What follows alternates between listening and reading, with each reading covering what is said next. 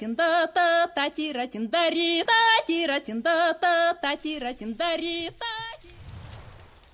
Всем привет, дорогие друзья, и добро пожаловать на канал Коротко, а не коротком. С вами Кин, и сегодня я предлагаю сделать, скажем так, познакомительное видео, в котором я бы хотел рассказать, почему я сериалы люблю больше, чем кино, и, собственно говоря, какие сериалы имеются у меня за плечами. А то я, может, только ранеток посмотрел за всю жизнь, а теперь сериалы советую направо да налево. Ведь мы не ангелы, мы на земле. И да, я смотрел ранеток, но всего пару серий.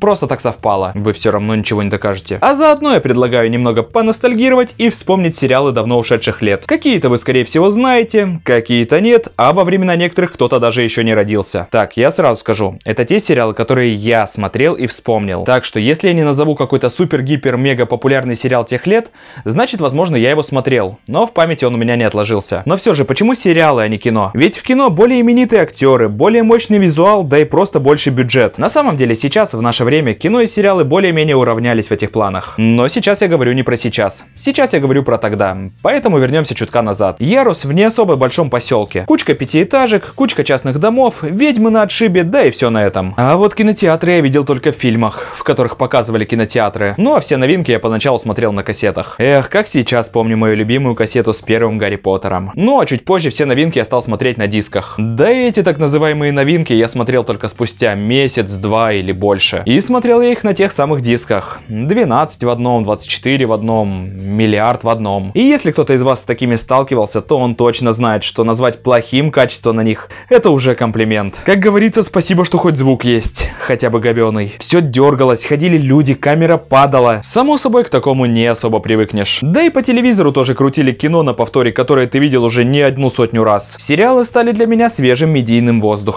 На новый сериал можно было также наткнуться по ТВ или купить диск. Мой личный комп с интернетом появились у меня довольно поздно. И вот сериалы и были моей отдушиной в потоке однообразия. Помогало делу то, что сериалы, как и сейчас, были сразу по выходу в хорошем качестве. Правда, вот что-что, а озвучка иногда хромала. Но какая бы она ни была, к ней всегда привыкали. Ударом могла лишь стать смена озвучки. Не знаю, как нужно общаться с дурацкими друзьями-хирургами терка, но я стараюсь. Ну и как там эти ваши операции? У меня еще смена не началась. Обратитесь к нему. К тому парню? Ага, спасибо. Вот это было реально больно. А потом мы снова привыкали к новой озвучке. Поэтому с самого детства как-то заложилось, что сериалы мне смотреть куда приятнее и комфортнее, чем кино. Что? Ах ты ж грязный фильмоненавистник. Не-не-не-не-не-не.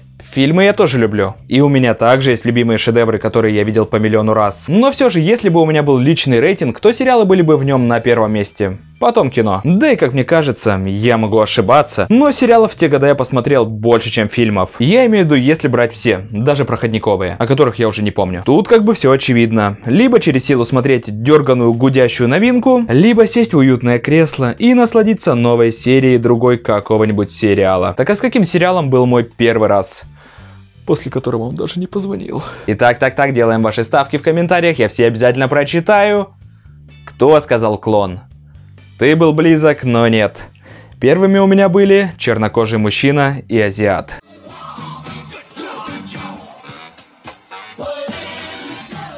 Нет, но близко. Китайский городовой. Китайский городовой. Пожалуй, это тот сериал, который я могу считать отправной точкой. Может, я смотрел что-то до него, но я не помню. Помню только, как будучи особо мелким, я смотрел где-то по пол серии. Но так как он шел вечером, по-моему, по первому, меня гнали спать. И да, это не то видео, где я буду рассказывать вам полные характеристики сериалов. А то у нас и недели не хватит. В этом видео я буду говорить только то, что помню. Скажем так, синапсисы моей памяти. А помню я, как сам Махун кунфуировал направо и налево вместе с напарником. В общем, да, это сериал «Час пик». Тем более, как я сейчас узнал, вышли они в один год. Возможно, по датам выхода сериалов я буду также немного промахиваться. Просто я специально не хотел поднимать никаких списков, а говорить только то, что отложилось у меня из детства. Так что, возможно, какие-то сериалы из этого списка шли раньше или позже других. Но что-то я отвлекся. А вот насчет следующего сериала я вам подскажу. Этот сериал я видел, но не смотрел. Думаю, как и большинство из нас. И я говорю про клон. Про клон?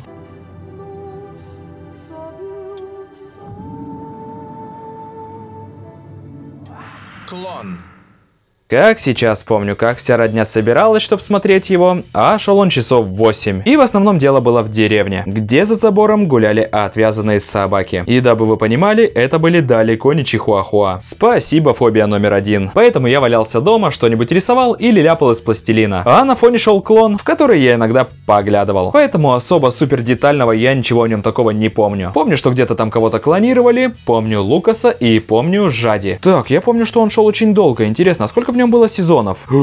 А серий?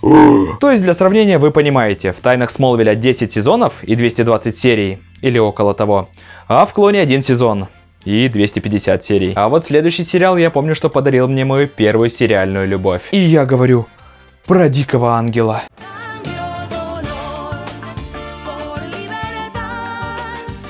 Про него могу сказать, что это какое-то там мыло, в котором снимались потрясная Наталья Рейра и мужик, похожий на Брэдли Купера. И я хоть и небольшой фанат говорить, что раньше было лучше, и трава была зеленее, и девки краше. Но вот на примере этого сериала я могу сказать, что раньше действительно было лучше. Это то, что практически у всех сериалов тогда были большие интро. Вы только послушайте. Ну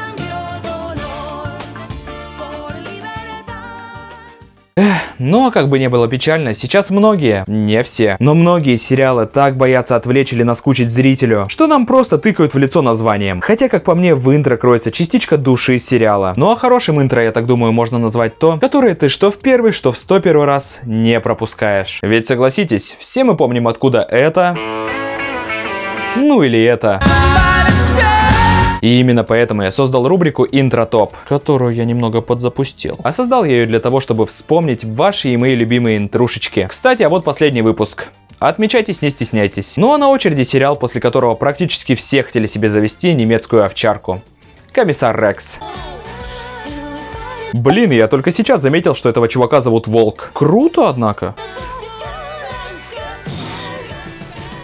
Это уже в наше время я понимаю, насколько это типичный клишированный детективный сериал, который сейчас я не особо люблю. Но черт возьми, я ревел как маленькая сучка, когда они убили Рихарда. Сейчас-то уже понятно, что актер просто захотел уйти и выступать в театре. Но тогда было больно. От следующего сериала было не сколько больно, сколько обидно. Потому что я пропустил его концовку.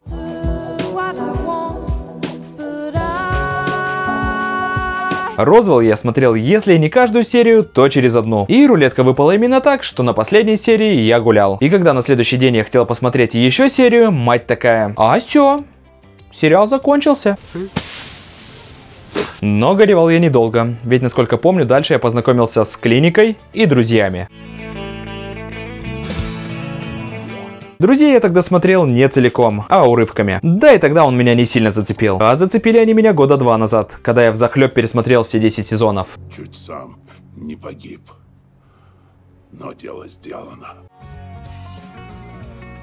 А вот клинику я смотрел сразу. Сначала на первом канале, потом на MTV. И снова же больно. Больно, когда я вспоминаю концовку сериала. Не совру, если скажу, что для меня это было ударом. Настолько трогательно, душевно, подводя все итоги, отмечая все заслуги, со взглядом в будущее. Иной концовки этому сериалу никто бы не простил. Настолько она была сильной и душевной. А потом вышла клиника девятый сезон, который нафиг никому не сдался. Но он уже не чувствовался частью любимой истории. Ну а следом я, пожалуй, вспомню... Lost.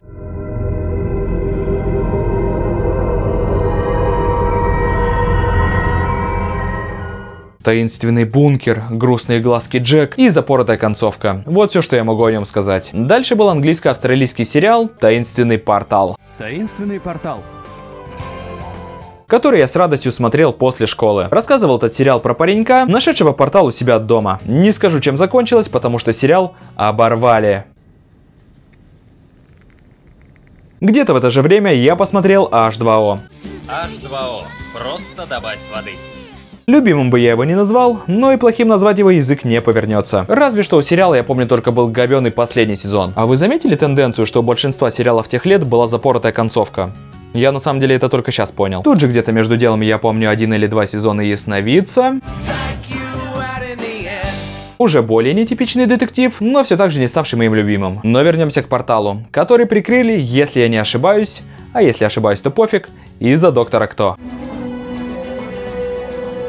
Ох, как же я влюбился в этот сериал. Но не сразу. Поначалу я просто его смотрел после школы. Серии, как это принято на СТС, шли в разброс. А потом его и вовсе прикрыли. Но потом, уже спустя много времени, я начал смотреть его снова в интернете, где я пересмотрел как все серии, вышедшие на тот момент, так и все доп. материалы. Oh, like! Блин, я вспомнил про пондов.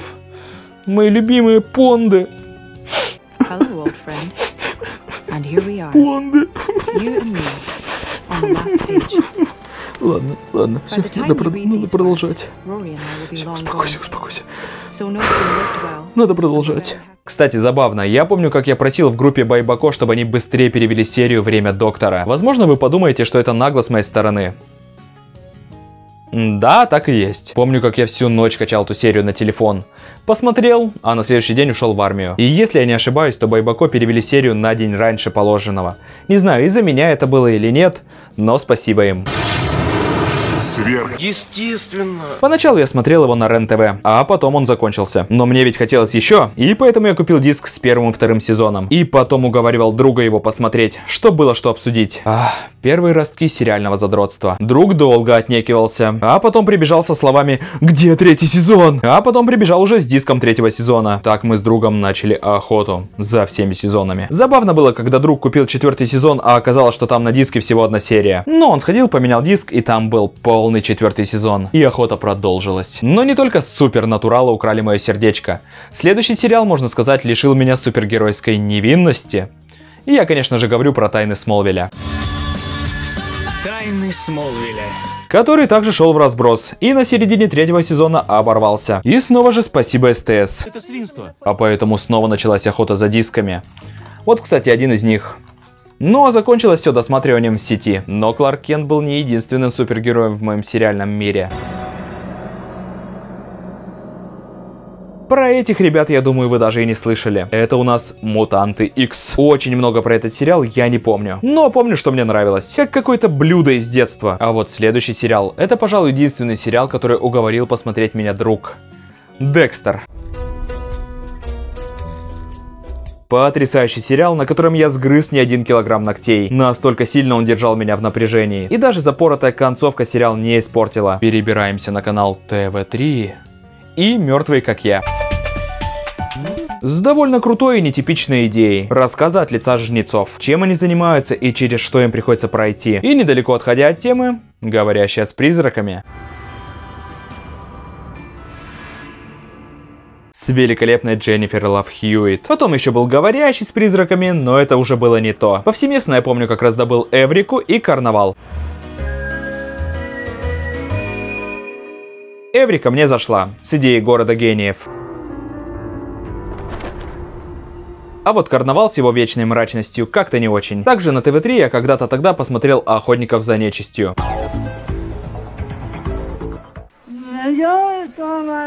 Ну а мы вернемся к теме супергероев. И вспомним героев. Герои.